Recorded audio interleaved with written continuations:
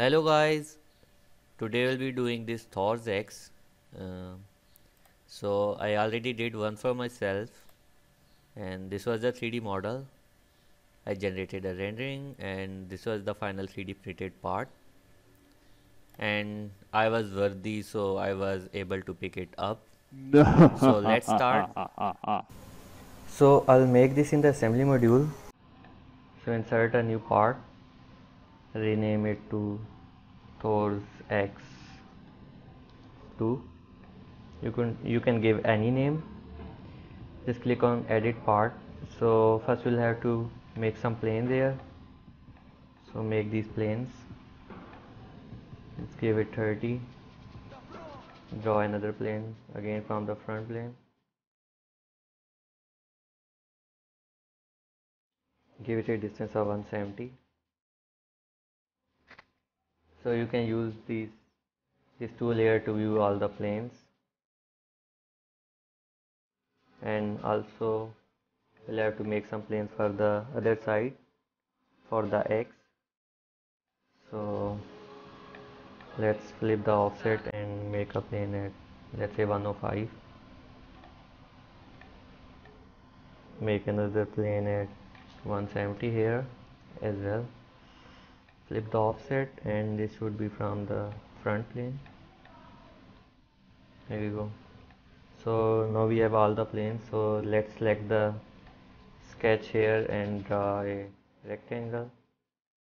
You can use control key with the number keys for toggling these views for the for different planes. Give it a dimension 140 for the both both lines and use a chamfer here. First give it a dimension first so you can so you don't have to change change the dimensions manually every time. So exit the sketch again. Now select the plane one and draw a sketch here as well. Rectangle. Give it a dimension of 180 and also use a chamfer. So you can change the dimension here. So again so you don't have to change the dimensions every time manually. So exit the sketch. Now use a front plane to draw the sketch and again use the rectangle tool and give it any dimension. Let's say give it a length of 90 and width of 70 and this the, the center should be on the center here. So make this coincident and exit the sketch take a new rectangle and draw a line from the center to the center of rectangle and make sure to convert this into four section give this offset of 15 and again 180 and what was this? 22 exit the sketch again.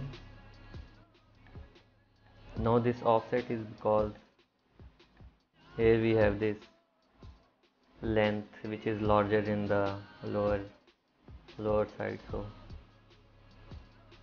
now make another rectangle once again. And this rectangle should have a center which is again offset from offset from the original center and make this let's say 20 okay and give it a overall length of 300 and make this 10 so now we have all the all the sketches set up. So I can now start lofting the the sketches then just click on the loft base and select these. Here click yes and now select another loft for this you cannot loft all of these at once because for loft you have to have the same the same corners here let's say if I want to loft it loft it here. Sorry and if I select this rectangle now this will get you know start getting messy as these corners the corners here are 8 in numbers and I only have 4 4 corners here. So I'll so I'll have to use a separate loft for this. You can select these rectangles one by one and make sure that they the all the corners are one side now you can just click on check. Now use the front plane and sketch on it.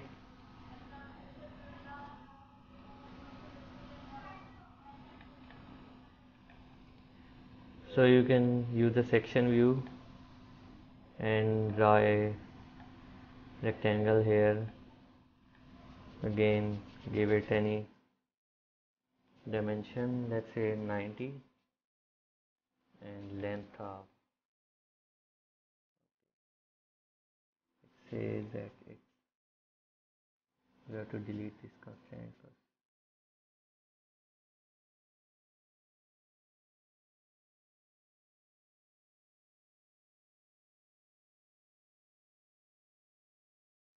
Give it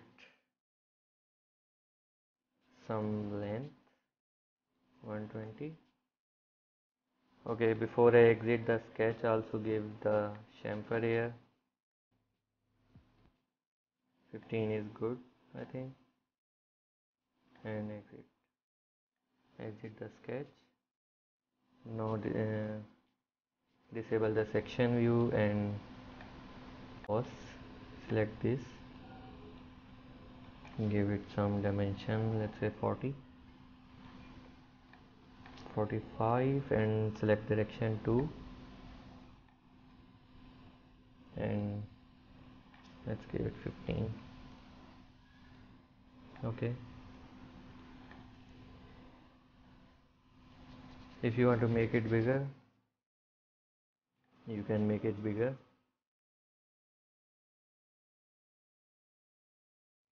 Ninety five okay. And now there is a slot in in this. So I can make a slot. Just just click the front plane and select the same sketch and convert the entities. Exit the sketch. Now you can use the extrude cut flip the direction and give this 40 or 35 and for the direction to give it 5 and go into the thin feature and give it 5 and offset it.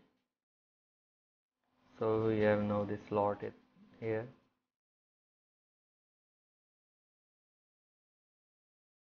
Now you can click on right plane and draw a sketch on that click on this three point arc and make make a arc here. You can select these edges and the arc make it tangent to this. Now click on this line change it to for construction and this line is so we make sure that these two points of arc are equally distant. Give this 145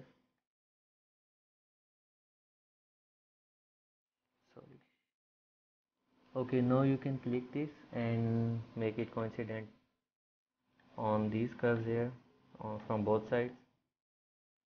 Just close the this sketch and make just a rough shape just to close the sketch. Exit the sketch and extrude cut through all both and right and click it. Okay now you can go into the chamfer click on the distances and you have to choose asymmetric and provide two different dimensions. Sorry the face shouldn't be selected and select the other edge. So to have a sharp corner sharp edge sorry. Okay just click on check and we have this shape now. You can make further improvements if you want for the shape. Let's see if I shift this center a little more maybe a little more. So we can have a more length on the lower side. So now we have the basic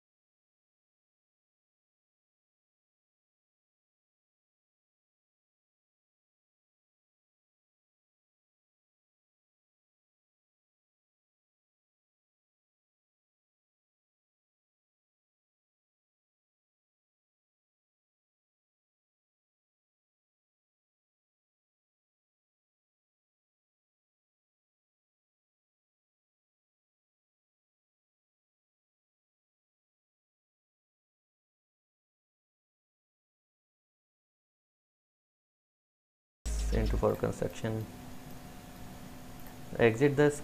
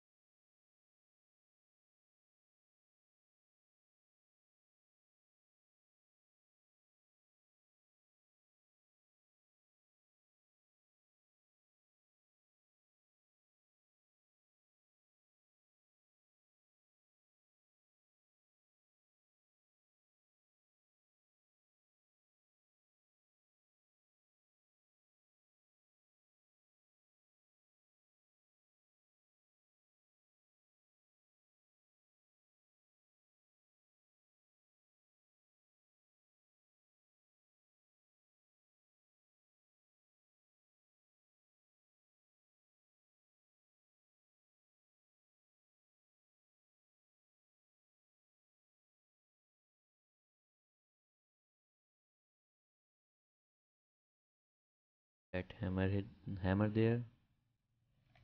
Just just copy it roughly. You can you can change it later.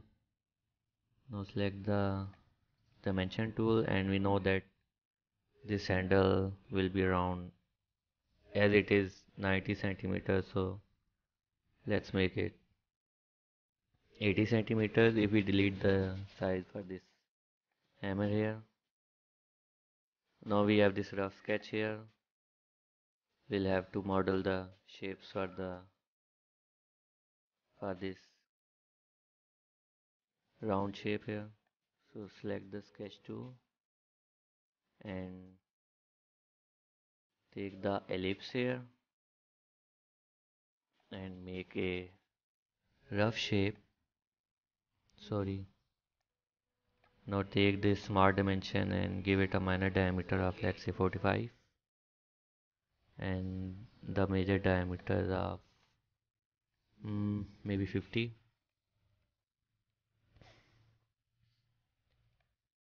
now we need another plane. I'll go into reference geometry and select plane.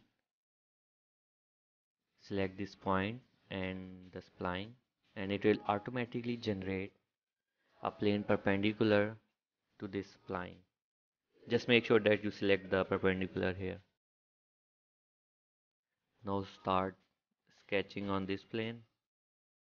Make a rough shape again. Select the ellipse tool. Make an ellipse and then give it a dimension. Make sure that all of these vertical dimensions are, are of 45 millimeters and for the shape of this hammer you can play with this major diameter. Previously it was 50 now I'll make it 55 exit the sketch make another plane go into reference geometry select the point and the spline. Now it will automatically generate another plane. Now sketch on it again and take the ellipse tool give it a minor diameter of 45 millimeters and a major diameter of so give it a major diameter of let's say 70 uh, we'll have to make this bigger as this part is bigger here. Let's make it 80 now we have this this shape and these ellipse shapes here. So at the end we'll have to make another spline. So go into sketch of the right plane. And now now we'll be making the spline which will be starting from these points here from the ellipses. Just try to copy the previous spline and select these points now they will help us in generating the shape when we use the loft. Exit the sketch. Now go into the lofted boss. Select the profiles.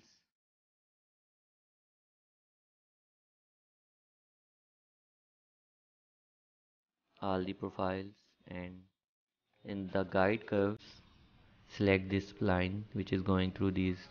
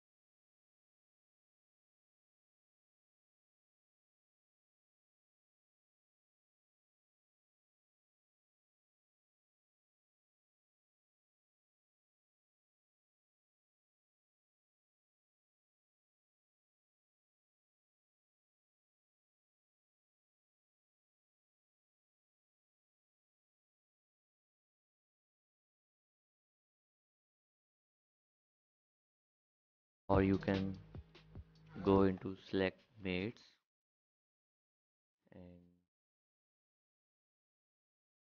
select the sides you want to mate. So now we have this positioned correctly here. So the purpose of making these two parts separately separately was so you can easily 3d print and late, later you can just join this with any adhesive. And you can give some beautiful colors to it if you want to. So the size here was the actual size which I found on the internet but if you want to make a 3d printable version of this you you can just open each part separately and just go into insert features and select the scale here.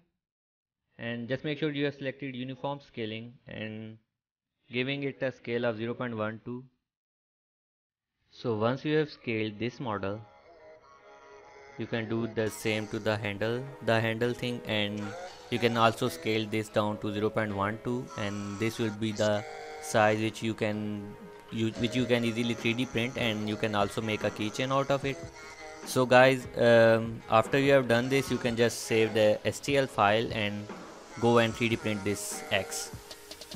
And this is it. Guys I hope you have liked this tutorial and just keep like and sharing my videos and also subscribe to my channel. Okay guys take care.